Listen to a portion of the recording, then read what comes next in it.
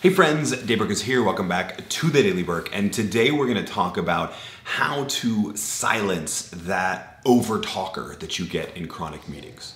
Okay, actually, we're not going to talk about how to silence that over talker, but we are going to talk about the damage that that over talker does. See, the problem with people who speak up often in meetings is that usually when they do, the more quiet, introverted, or lesser power, lesser status people that are in on the meeting feel like, oh well, I don't I don't need to talk. My ideas aren't valued. One person, usually a male, to be honest with you, overconfident and overly charismatic, just asserts themselves in every single situation. And what you really need is to hear multiple different voices.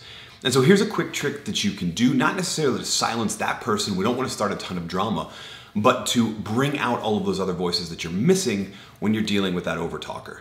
Pair and share quite simply pair and share, right? You've probably done this in a workshop or something like that where you uh, are paired up with somebody else, you hear their ideas, you share together before you share with the rest of the room. This is pair and share with a twist though. As you're looking for solutions, that problem that you're discussing in a meeting, pair and share, let those people share each other's ideas, but then flip the roles and let someone else speak for each person's ideas. So that over talker is gonna have somebody else arguing their point. And I'll bet you he can't stand that. But anyway, the point is that by doing this, you make it clear that what we're gonna do is we're gonna go around the room and get every single person's ideas. And that idea is actually devoid of all of the uh, loud, all of the argumentative, all of the overconfidence that that overtalker tends to have because it's somebody else presenting that idea.